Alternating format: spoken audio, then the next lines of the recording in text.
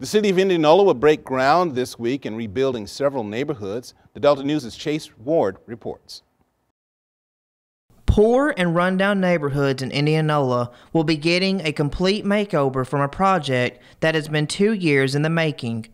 The city has been working with public and private contractors to remodel and renovate blighted areas. The area to be renovated is the Southgate subdivision in the southern part of Indianola.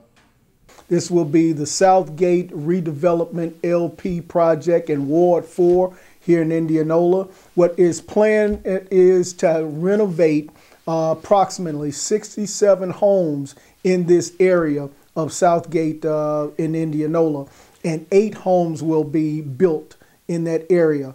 Uh, this is one of those parts of towns where it is uh, a marginalized area, so this renovation will be the biggest investment in that part of town um, since its inception. Not only will homes be built and renovated, but a community center will be built along with improving the infrastructure to help prevent flooding.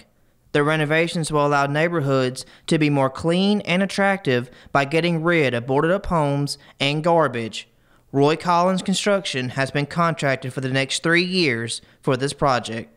In this area where we are located at now, that will be uh, one of their centralized offices where they are going to work from.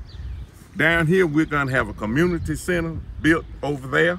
We got a, a pavilion going to be built here. And we have a playground that are going to be built uh, down here.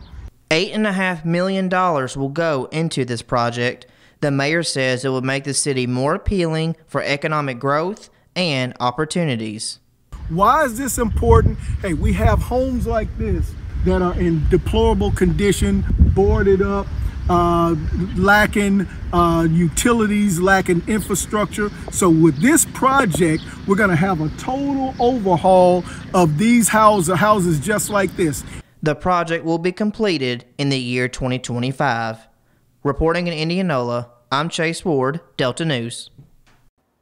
And groundbreaking will be on Friday morning at 11 a.m. in the Southgate community.